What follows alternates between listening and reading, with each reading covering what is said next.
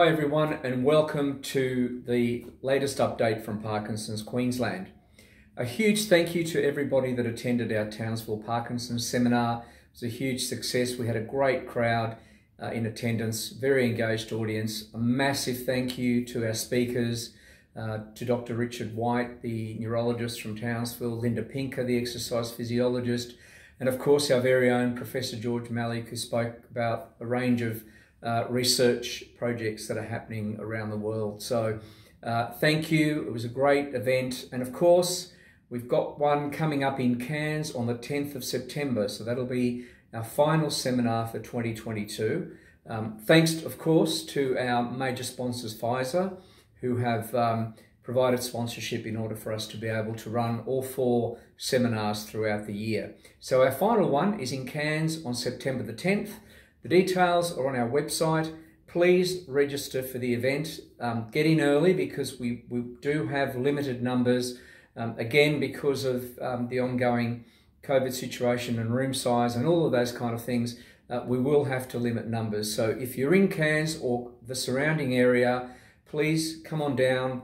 10th of September, we've got a fantastic range of speakers, including Professor Peter Silburn, who will be flying up from Brisbane uh, to speak. Um, and of course, uh, a, a, range of other speakers to talk about all things exercise and research. So it's going to be a great day. September 10, book early, jump on the website and, uh, and get your tickets. Uh, the other exciting event that we've got is right here in Brisbane on Monday, August the 15th.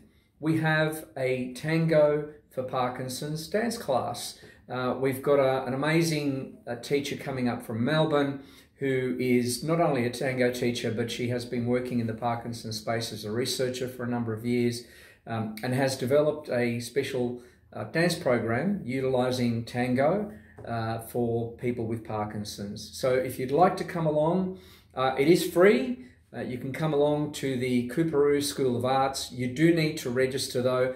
We do have, uh, um, we, we only have a limit of 30 places available for the dance class, so you do have to register. So please either jump onto our website, give us a call, um, and uh, we'll get your details. But that's Monday, the 15th of August. The class will kick off at 10.30 a.m.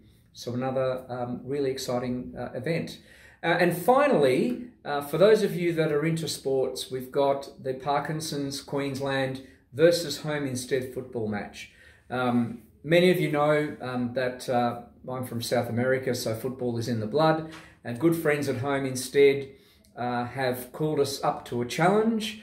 And so we have Parkinson's Queensland Football Club, or we've created the PQIFC uh, with a range of, of players. We've got um, people living with Parkinson's. Uh, we've got a couple of ex uh, former players uh, who are coming along to play, coaches. It's going to be a lot of fun it really is for a great cause. Home Instead are helping us to fundraise for um, the first phase of our newly diagnosed program. So a great event. Come and have a laugh. Cheer us on. Um, it's on August the 24th. That's a Wednesday, August the 24th, at the University of Queensland Football Club grounds, which are in Chapel Hill. Again, all of the details are on our website.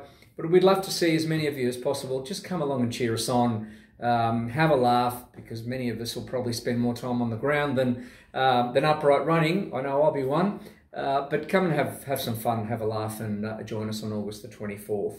Uh, look, that's all from me for this week. But of course, just finally, a reminder that uh, our Parkinson's nurse, Steph, is here to help you. If you'd like to book a time uh, to speak with her, um, give the office a call or send us an email.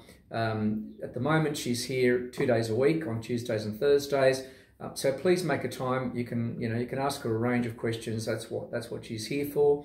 Uh, of course, we still have our telephone peer support program uh, running. So if you do need that one-on-one peer support, reach out to us. And of course, our wonderful support groups across the state um, who are there for you to um, to socialise, to um, and to talk to other people who are going through a similar Parkinson's journey. So don't hesitate to get in contact with us if we can be of assistance. That's all from me for this week. I hope to see you again at the next one. Bye for now.